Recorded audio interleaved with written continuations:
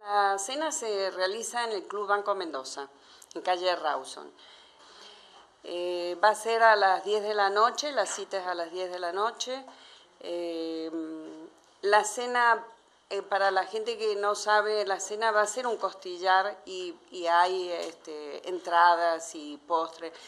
Pero también para la gente que es celíaca va a haber un menú especial, para la gente que es vegetariana también va a tener su menú especial, así que que no pongan este, ningún impedimento para llegar. La entrada cuesta 500 pesos. Eh, pueden conseguirla en la casa de una de las mamás, que es este, Nancy, eh, es en Fe 855, que es donde está. Nicolás Abaca también tiene entradas, así que pueden llegar a acercarse a él el fin es de recaudar para tener nuestro propio espacio físico, que todavía no tenemos una sede y es importantísimo para poder reunir a todos los profesionales dedicados a la salud, especialmente lo que hace rehabilitación en nuestros niños. Estamos funcionando en casas de familia entre los grupos de los padres y de nosotros los profesionales y las reuniones son en, nuestras reuniones siempre son en las familias, el impulso de las familias y nos reunimos en cada casa de las familias para hacer nuestras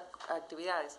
Tenemos registrados 22 niños, 14 eh, niños, 14 padres están trabajando con nosotros y pensamos que hay más porque este año, por ejemplo, han nacido dos niños en el Hospital Chestacó, así que lo que pretendemos nosotros como fundación es poder llevar un seguimiento y tener una estadística más precisa. Sobre todo estamos muy contentas porque eh, uno de los logros de la primer cena fue eh, el poder juntar el dinero necesario para hacer fundación y todo esto que Mabel decía, pero también otro logro muy importante fue que la comunidad eh, empezara a manejar este término de espina bífida, empezara a manejar eh, mielomeningocele y a preguntarnos qué es eso, por qué, cómo, y creo que lo más importante para hablar de una verdadera inclusión social es conocer de qué se trata, porque en, aquello que uno no conoce eh, está el miedo, ¿no? Y, y cuando uno tiene miedo no actúa.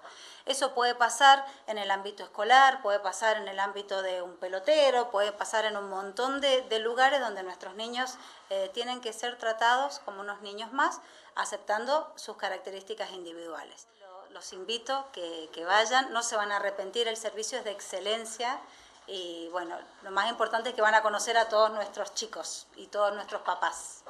El protagonista principal sos vos.